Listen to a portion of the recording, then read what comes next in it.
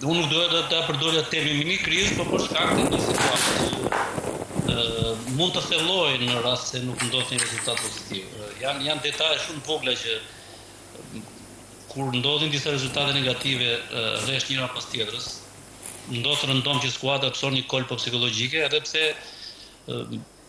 Unë nuk jam dakord me shumicën e opinionit që thotë që është një skuadër që ka mangësi, duhet ribërë nga e para. Nuk e ndaj, nuk e ndaj këtë mendim dhe mendoj që ka një grup lojtarësh që mund ta kalojnë këtë këtë lloj ngërçi psikologjik, ashtu siç u demonstrua dje me fitoren ndaj Dinamos. Nuk ishte një fitore e bukur, siç tha trajneri Osmani, por ishte një fitore e domosdoshme për të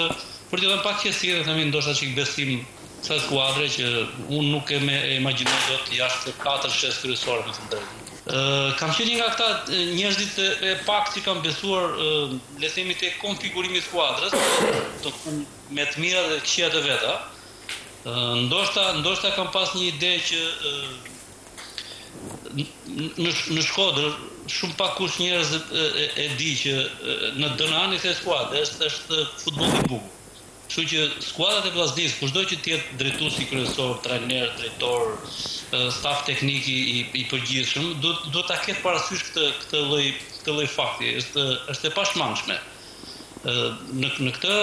prizëm do të thoja që dhe skuadra nuk është se është e ndërtuar keq, domethënë ndoshta me pak lëvizje brenda për brenda grupit vet dhe me me guxim për të aktivizuar djemtë e rinj që Shkodra për fat të mirë i prodhon me shumicë,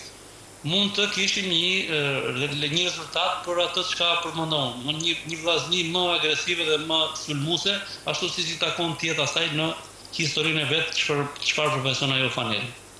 Marini besoj gjithsesi vendi i pestë është pak për momentin.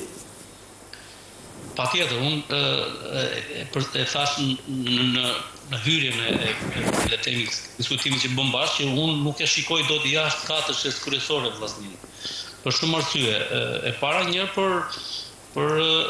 skuadrën që ndër vite ka dhënë tonin e Kampionatit Shqiptar, ka qenë aty gjithmonë me të mirat dhe të këqijat e veta, ëh, se çdo skuadër ka pasur oscilacione. E dyta që ka këtë filozofi që them unë që ndër vite është trashëguar në Shkodër, është luajtur gjithmonë futboll i bukur, njerëzit e duan futbollin e bukur, është nga të paktet vende ku duartrokitet kundërshtari në rast se e meriton dhe luan më mirë se skuadra kundërshtare. Dhe e treta sepse fundi i fundit në katër vjetët e fundit ka fituar dy trofeja, dy kupa të Shqipërisë fituara të fituara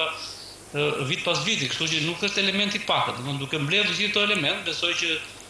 E forcoj mendimin ku them që për mua do të jetë patjetër në katër skuadrat që që do të luajnë në